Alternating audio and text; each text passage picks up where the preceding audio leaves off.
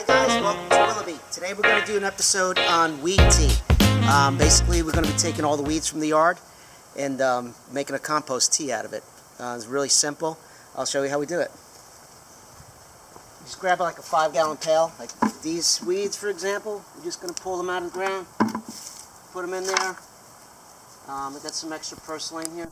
What was happening here, the whole uh, theory behind this, the weeds pull the minerals, the nutrients, everything from, from underneath the ground, and um, they compete with the other plants that are in the garden. That's why you really don't want weeds in your garden.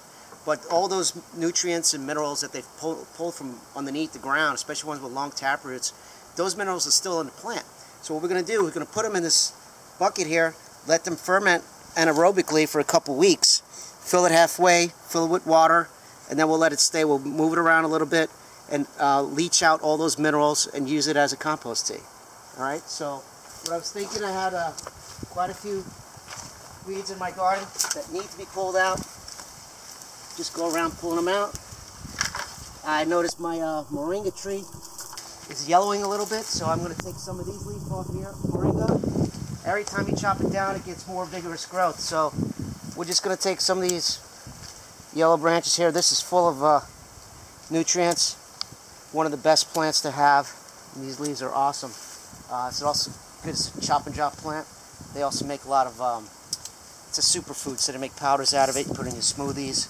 Now, we throw it right in our salads. We take a lot of these and every night to put it in our salads. But this would be excellent for our, our weed tea. Alright, so we're just going to go around the, the garden and pull out some weeds. I like those weeds that, those tenacious ones. Um, the ones that have the long tap roots, they go really down, they pull up the nutrients. Dandelion, though I like to eat dandelion myself, to find some around here, I'll throw it in there.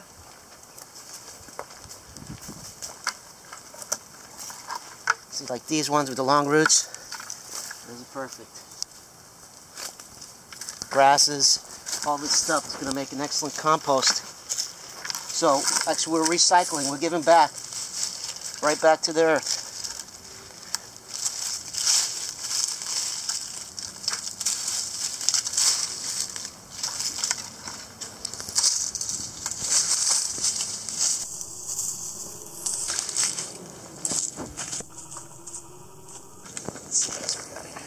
Alright, so this is basically the whole operation.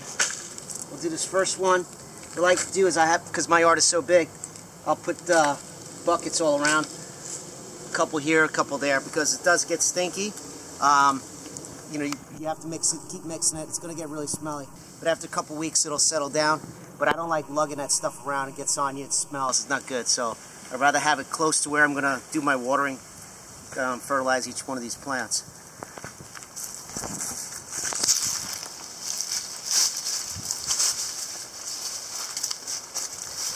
This part of the yard actually because this uh, avocado tree drops a lot of leaves.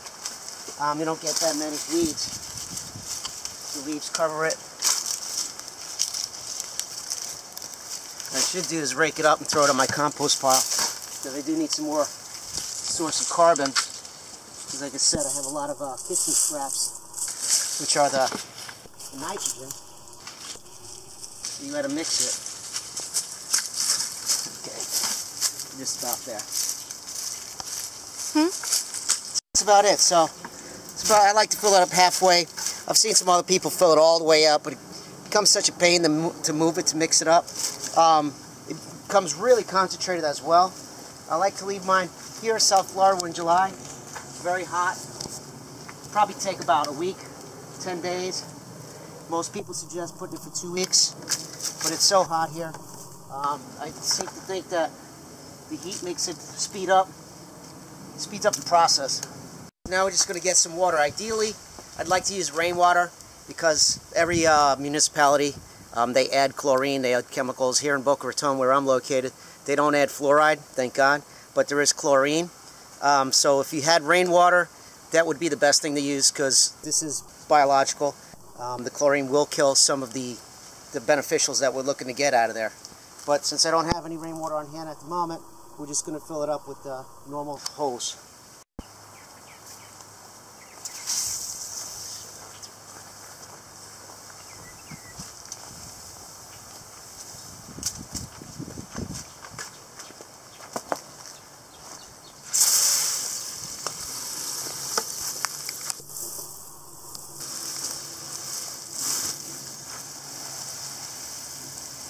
All right, this is it. There's no uh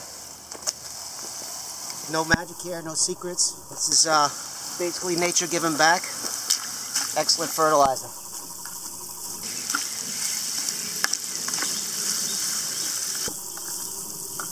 So we'll just uh, fill this up with water.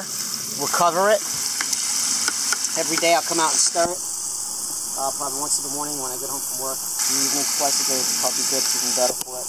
Get some of that oxygen on the bottom that the bacteria needs to uh, break down those weeds and take out all that minerals and the good beneficials that we want to get out of here.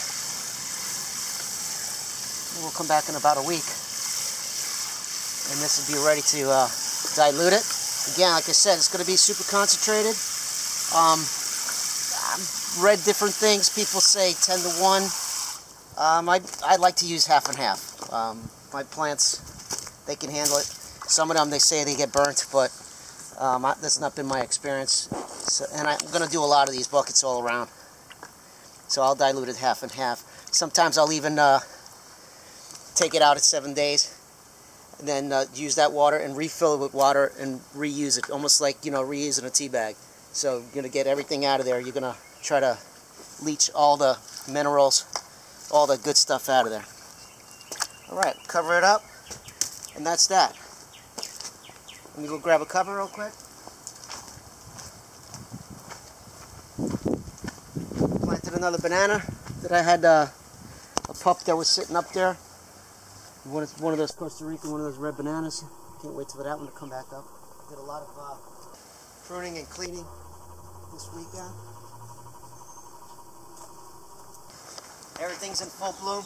Acerolas. Check this out, guys. Acerolas, this was transplanted not too long ago. It was up back in that corner.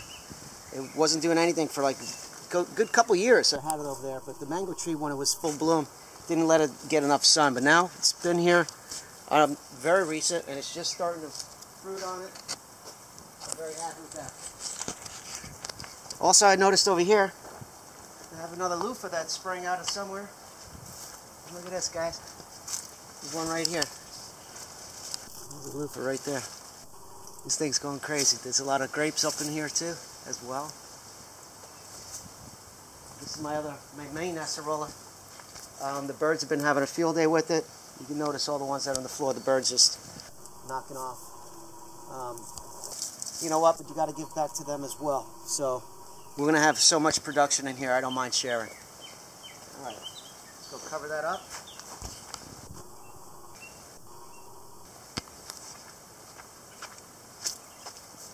I noticed today as well, I have another bananas thing. It's starting to go one over here, this one here, third one here, and while I was sitting over here taking some sun, I noticed another one up there. There's four over here. You know, normally you're not supposed to have so many bananas clustered around. I should have thinned this out, but uh, it's doing its thing. There's a lot of, I don't even know how many's in here. Four, let's see, four, five, six, seven, eight, nine, 10, 11, 12, 13, 14, about at least 15. Um, supposed to keep four. They say it's supposed to be four. It's supposed to be like the, the grandmother, the mother, the daughter, and the granddaughter. That's how they name these things. But um, this thing is doing all right. I'm not too worried about it. It is kind of a pain in the butt to clean it out. I mean, the weeds getting in between there and stuff. I'm just letting this do its thing. I'm chopping drop the leaves. And we'll see how it goes. So far, so good.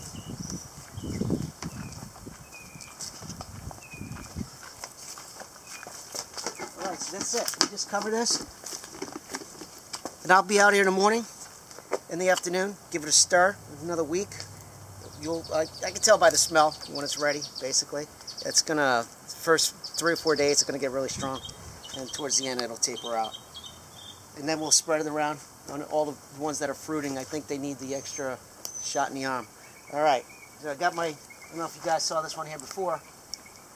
This is a vanilla bean orchid. It's growing good. I bought this online. It wasn't cheap. It was very, very small. Came in the mail. Um, had it up on my transplanting station there for a while. Finally got to put it in the ground. I'm hoping that it's going to some connect itself to this mango tree. If this mango doesn't produce anymore, least it'll be able to hold the, the vanilla orchid and as well the monstera plant over here. which is another fruiting plant. It's a rainforest plant. It has a fruit that's uh, almost like a long banana. Tastes like a banana and pineapple mix. I haven't seen any fruit on it yet, but hopefully once we start getting some uh, fertilizer on it, it'll give it uh, the boost that it needs to, to grow. I moved as well this weekend my olive trees that were over there underneath the, uh, my neighbor's got a big tree over there. I don't know what it is. It's not a fruiting tree. It's just big tree that keeps dropping branches and making a lot of shade. And that side of the yard over there is very wet. Um, it's where most of the water from the house runs off and stuff. And these things are from the Mediterranean. Olive trees grow in Italy. They grow in Greece. They grow in Spain on arid, you know, um, places that don't have a lot of water. So I moved them over here. I put uh, a couple days because it was in there for two days. Didn't have any shock when I moved it at all. I dug a hole really deep. The hole was real deep. Uh, made sure the soil over here is really good. Put plenty of uh, compost that I had around here in the hole with it. These are the three olives I just moved. And I also put in, decided to put my caper bush here as well because this part of the yard basically gets almost zilch in water. So that's what it needs. It likes to drain. I put some rocks, some of these pebbles underneath that one in the hole to make sure it drains well because it does not like soggy feet.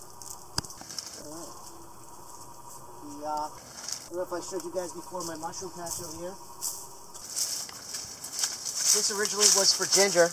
I was uh, planting ginger in here. This gate's up here for the dog because the dog goes nuts. My neighbor has a dog and he jumps on the fence and he's tearing up everything. So I just put up this as a barrier for the animal. But uh, this originally was for ginger. I had thought I took everything out, but I see the ginger starting to pop back up. These stalks here are ginger. Um, another one here. Another one here. This is uh, King Stropharia. I bought some spawn online and I put it down in there with um, some um, sawdust that I had. Put it covered down there, put lots of wood chips on top of it. Hopefully we'll see. I know it takes a long time. We'll see if anything comes of it. But meanwhile, the ginger's having fun in there. All right. This is stevia. It's another one. This is a natural sweetener. Uh, I haven't uh, tried it yet myself, but it's grown around here in, in the yard, in various places. Oh, I wanted to show you guys that all those uh, pumpkins and zucchinis that we that we put in, they had come up right away. You see them here. But something, one of these doggone bugs in there is eating it. You know, when they start blooming like this, those young leaves, they're irresistible for those uh, late night um, bugs. They like to chomp on everything. So what I'm going to do is I'm going to replant this this mound. Carrot's doing all right. I'm going to replant the mound and put these plastic collars that I got. They're basically just uh, deli containers, 32 ounce deli containers that I cut the bottom off and put it around there and it seems to do the job. See, this is the only one that survived. Put the collar on it. I'm going to re redo it, but I get it in here. Get my, put this one in here as well. And uh, maybe this one is going to make it grow another leaf but we did plant quite a few of them here. You can see that all of them, just about all of them, got eaten up. Over here, over here, over here. But, you know, that's the name of the game. We live and learn. So, we'll do that again. I'm going to get those in there. Oh, I wanted to show you guys as well the cashews that we planted. Um, one out of the two has come up. I thought it would be waterlogged, but uh, finally broke through, and uh, it's looking good. Come on, take a walk. I'll show you.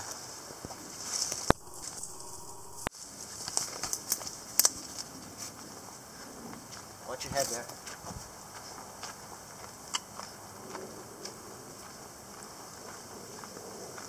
Trimmed up my jujube. It was out of control. This tree is great. It's going to bloom again. I cut it back pretty hard. I mean, the thing goes nuts. Um, it's full of thorns. Super careful with this one here.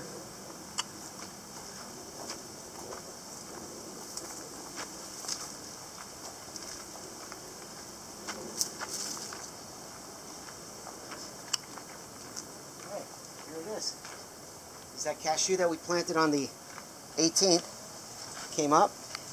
This other one here was still waiting for it.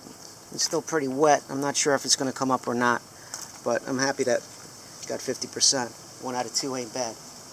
And I got some marigolds from Lowe's. I always shop the 50 cent 10 bucks for this, but uh, you know, it's just all dried out. All I needed was a little water. And it's going to be my companion planting for my tomato seeds that we planted the other day, that we started as seedlings.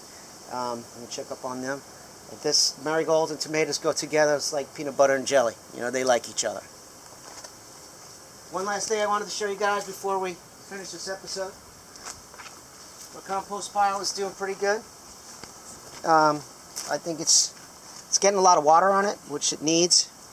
I've, found, I've been raking up like banana leaves and stuff like that, shredding them, using it for my carbon-based um, herbs. Loofahs are going wild. Look at the one behind there. It's even longer than the one in the front of it. That thing's a good 18 inches at least, I'd say. There's a couple more on there. These things are going nuts. There's another one over here, just started. I think uh, next year I might put cucumbers over here on this on this uh, truss. Yeah, oh, can't get it. These things are connected to each other. Peppers there. All right, and that's about it, guys. All right, guys. So there you have it. It's another episode, and as always, will it be homegrown, fresh, organic, or will it be GMO, insecticides, suicides?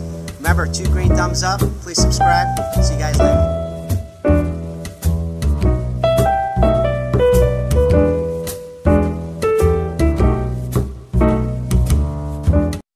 Boss, I'm the boss, I'm the boss, I'm the boss. I'm the boss, I'm the boss, I'm the boss, I'm the boss. I'm the boss, I'm the boss, I'm the boss, I'm the boss. All right, let's go, let's start, all right?